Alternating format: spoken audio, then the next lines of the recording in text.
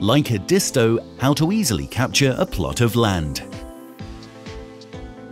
With Leica Geosystems point-to-point -point or P2P technology, I can easily record points in the terrain, such as for a plot of land.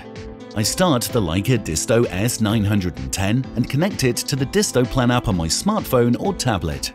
Now I open the Measure Plan function in the app. The leveling will start automatically, just follow the steps shown on the display. When finished the leveling, the device is ready to measure. The measurement of the first two points later provides the reference height or x-axis of the plan. I now measure the corner points of the plot in turn.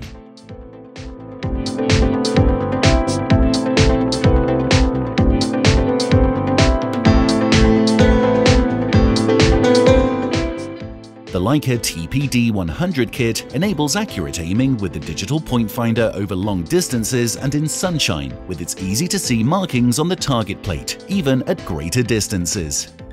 The bubble level provided ensures that you can align the target plate vertically above the measurement mark. Even if the laser dot can no longer be seen, the target is clearly visible on the large, high-resolution color display.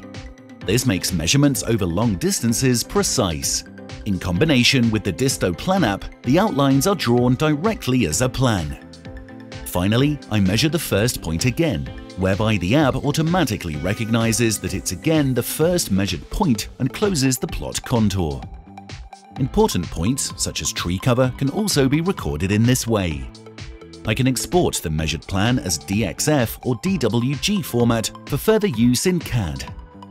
My personal tip if you use the DXF or DWG RAW format when you export, the height differences of the measured points are included.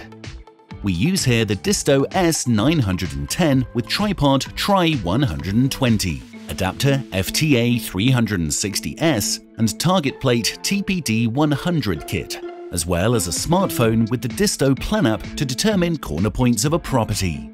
Measuring outlines and points in the field is possible with the Leica Disto S910 and the Disto X4 package.